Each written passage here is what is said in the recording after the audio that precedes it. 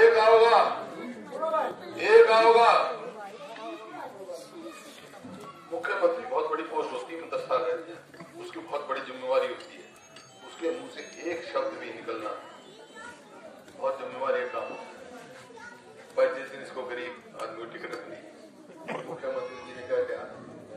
भाई कांग्रेस के उम्मीदवार को तो कोई जानता ही नहीं। क्योंकि ये गरीब आदमी है, क्योंकि ये किसान का बेटा है, क्योंकि कांग्रेस का कार्यकर्ता इस वास्ते नहीं जानता। तो एक बात मैं पूछता हूँ भाई, सारे माध्यम से, मुख्यमंत्री मैं व्यक्तिगत में भी इसकी बात नहीं करा करता। भाई, मुख्यमंत्री जी, जिस दिन आप मुख्यमंत्री बने उससे पहला तरह कौन जाना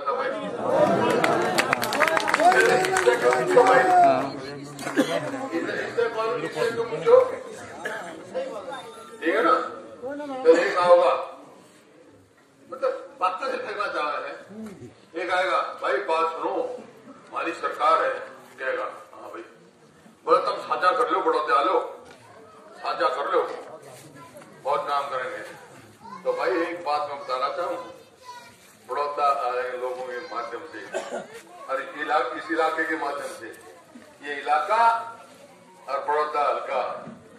साथी नहीं बनाया करता किसी का मालिक बनाया करता।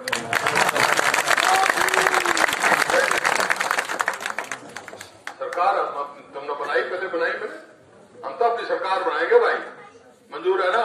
अगर अपनी सरकार बनानी है तो इसने यहाँ से। वरना कहने की ज़रूरत नहीं